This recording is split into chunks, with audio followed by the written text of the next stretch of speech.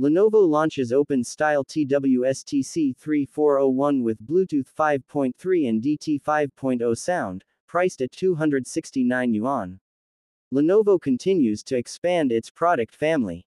In this regard, the company recently introduced the version of Xiaoxin Pad 2024 with 6GB RAM and 128GB storage.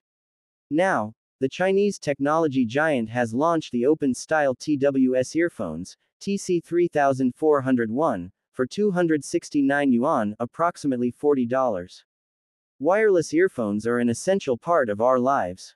Thanks to user friendly technology, many people today enjoy listening to music, talking on the phone, and consuming various content easily. Therefore, the TWS earphone market is constantly growing. Lenovo, one of the companies aiming to grab a share of the pie, has added TC3401 to its existing models.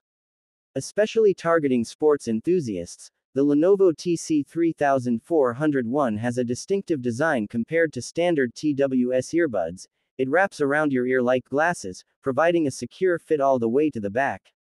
This feature helps eliminate the risk of falling during active movements like running.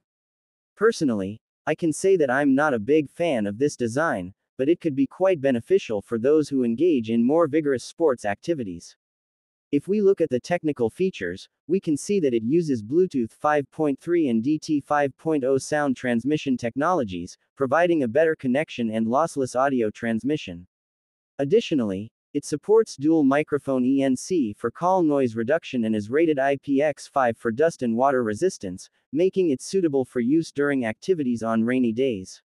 In terms of battery life, each earphone has a single ear endurance of 10 hours, with a total usage time of 30 hours when used with the charging case.